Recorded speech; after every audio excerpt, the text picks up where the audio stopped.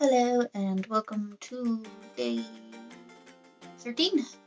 Uh, today's prompt was Zelda. It did a bit. She's still technically Zelda, but I decided to do Tetra. But I'm gonna put like little nods to her being Zelda in the picture. I did Tetra back in 2017.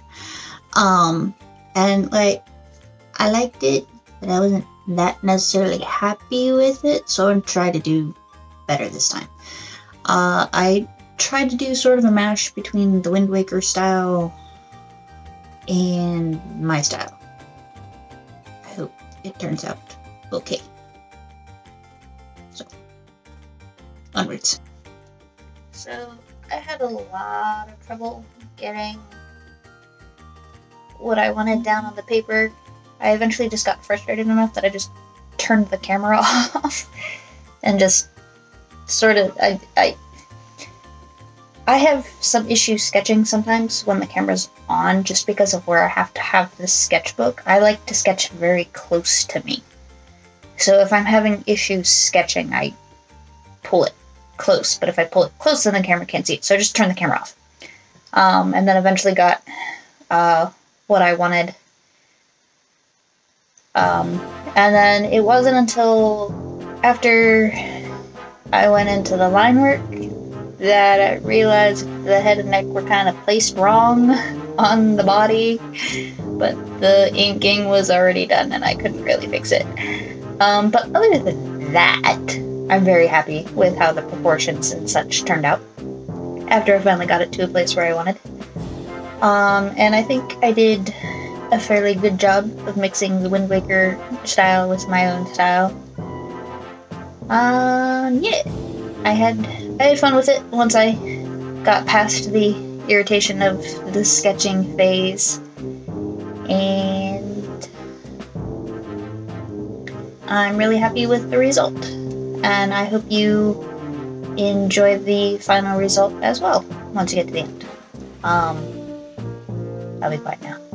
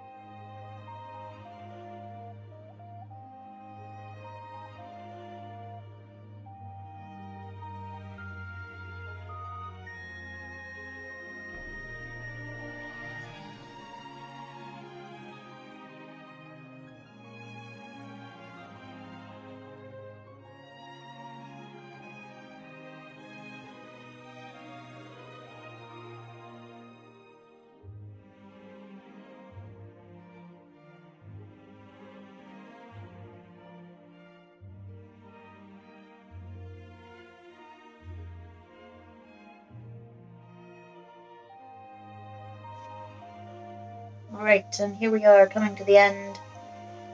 I am very happy with the result. I think she looks sassy and Tetra.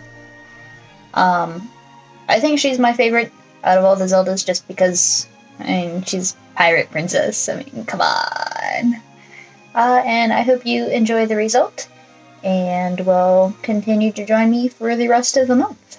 So, till the next one, guess tomorrow. See you later. Bye.